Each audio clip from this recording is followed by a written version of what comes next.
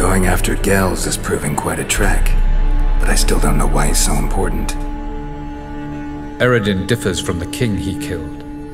Power for its own sake interests him. He has little patience for bureaucracy.